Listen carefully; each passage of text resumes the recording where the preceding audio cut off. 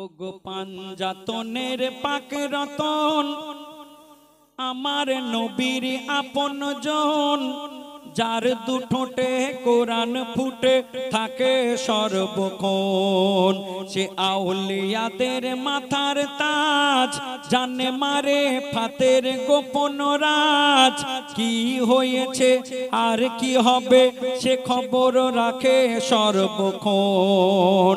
মোর গৌসুল্লা মোর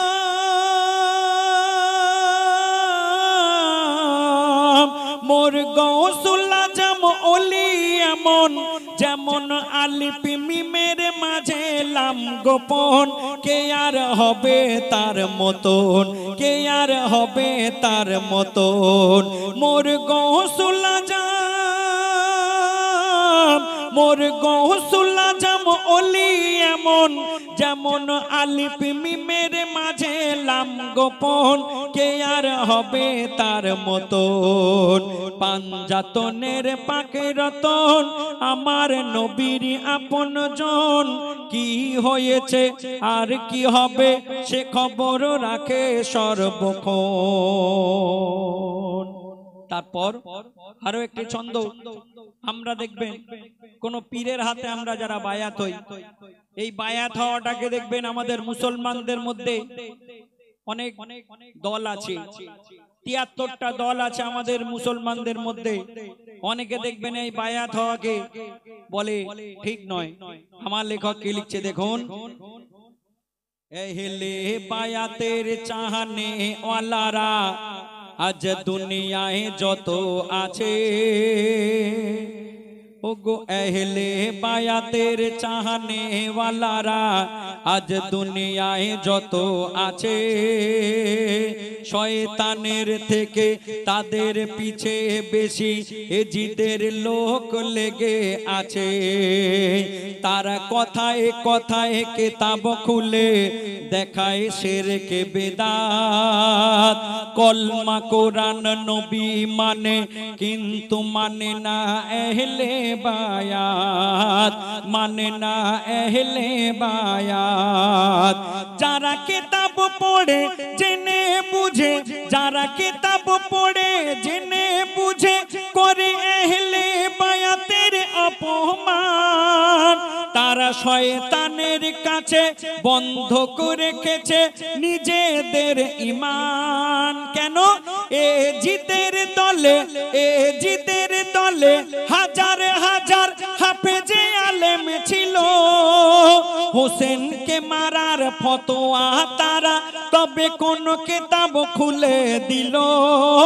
হোসেনকে মারার ফতোয়া তারা, তবে কোন কেতাব খুলে দিল।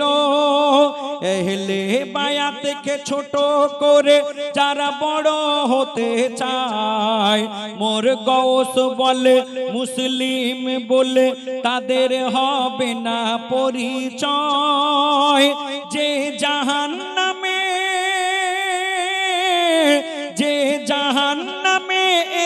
সীমার আর থাকবে মারোয়ান। সেই জাহান যদি কেউ যেতে চাও, করো এহলে বায়াতের অপমান। মোরা মমিন, মুসলমান, এহলে বায়াত মোদের জান। এহলে বায়াতের অপমানকারী, এহলে বায়াতকে ভালোবেসে দিতে পারি যান পাঞ্জাতনের পাকে রতন আমার নবীর আপন জন, যার দুটোটে কোরআন ফুটে থাকে সর্বক্ষণ। আরও একটি ছন্দ, আমার বড় পীরের সময়, বাগদাদে একজন পাগল। অনেক সময় আপনারা দেখেছেন মাজারে মাজারে অনেক পাগল ঘোরে। ঠিক এরকম একটা পাগল, যার মাথা চুলগুলো বড় বড়। জামা কাপড় নোংরা খাওয়ার দাওয়ার কোনো চিন্তা নেই। সেরকম একজন পাগল, তিনি আমার বড় পীরের বগদাদে গিয়ে কি বলে বলছে দেখুন। একে রোগা সরু হাফসি পাগল ছিল বাগদাদ থেকে কিছু দূরে। সে বড় পীরের দিদার করতে আসত প্রতি শুক্রবারে। কিন্তু সে পথে পথে বলে বেড়াতো গৌসের হাতে মুরিদ হবে। সে পথে পথে বলে বেড়াতো গৌসের হাতে মুরিদি হবে। জিলানের ছাত্ররা তাকে দরবার থেকে তাড়িয়ে দিত পাগল ভেবে। কিন্তু আর পরের জুম্মায় ছাত্ররা যখন ওই পাগলের দেখা না পায়, তার খবর পেল, পাগল মোরে পড়ে আছে রাস্তায়। পাগল মোরে পড়ে আছে রাস্তায়। আর তখন মোর জিলানি, ও গো মোর জিলানি, যখন জানতে পারে ওই পাগল মরে গেছে, ও গো মোর জিলানি, যখন জানতে পারে ওই পাগল মারা গেছে এক মুরিদিকে পাঠিয়ে দিল ওই মরা পাগলের লাশের কাছে। আর আমার বড় পীর সেই মুরিদকে বলল, তার ডান কানেতে, তার ডান কানেতে বলবি গিয়ে, তোকে কে মরতে বলেছে? আব্দুল কাদির তোকে মুরিদি হতে এক্ষুনি ডেকেছে। আব্দুল কাদির তোকে মুরিদি হতে এক্ষুনি ডেকেছে। শুনে মুর্দা পাগল জিন্দা হয়ে দেখল না চারিধারে। ইয়া গৌস ইয়া বলে ছুটে গেল গৌসের দরবারে। ওই হাফসি পাগল,